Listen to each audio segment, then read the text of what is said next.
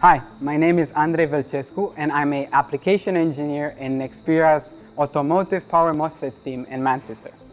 In the automotive sector, solenoids are used for a wide range of applications, from fuel injectors for the engine to shifting the transmission. There are four ways to driving solenoids. Freewheeling, active clamp, boost, and repetitive avalanche. In this demo, we will be showcasing the four topologies, how they differ, and Nexperia's offerings for each of them.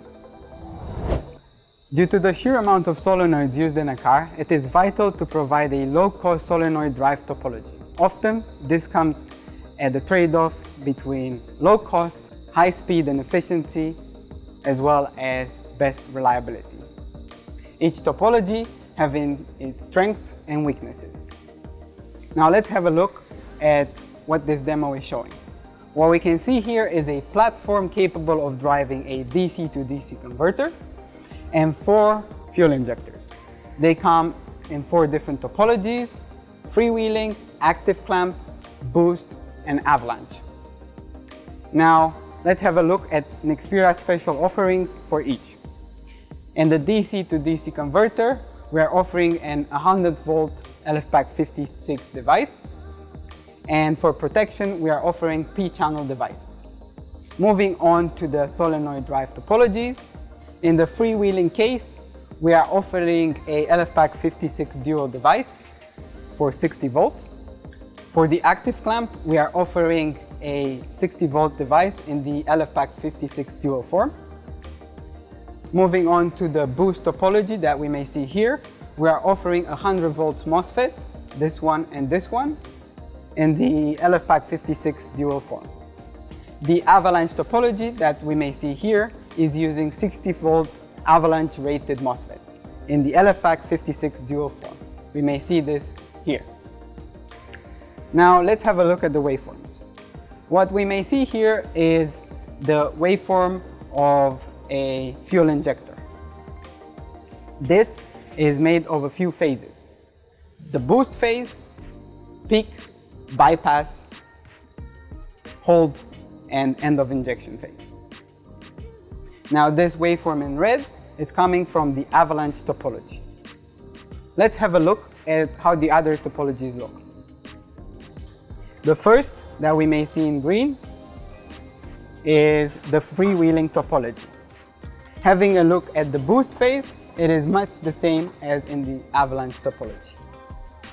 The same can be said for the rest of the phases. Moving on to the active clamp topology. In this case, the boost phase has a lower spike, but the peak bypass hold and end of injection are very similar.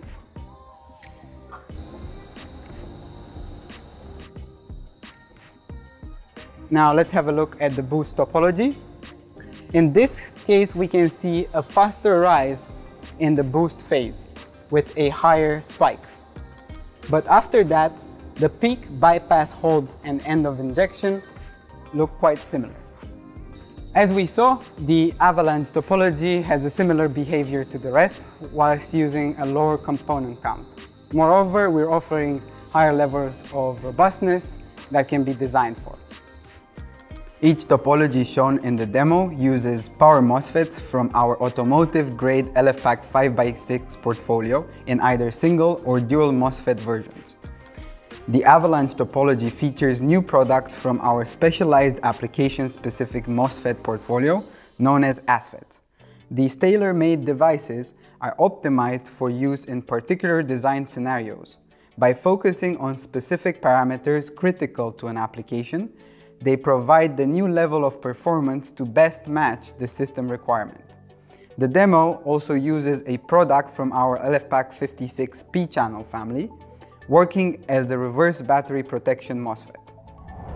Nexperia provides ease of choice with multiple package and silicon technologies available to support the chosen topology.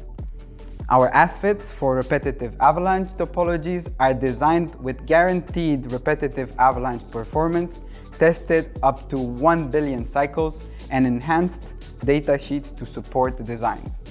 LFPAK automotive MOSFETs have industry-leading performance exceeding AEC-Q 101 qualifications up to two times. The unique copper clip construction provides excellent robustness and reliability for the most demanding applications, as well as space-saving benefits when comparing them to more traditional alternatives. Thank you for watching. For more information, please go to nexperia.com.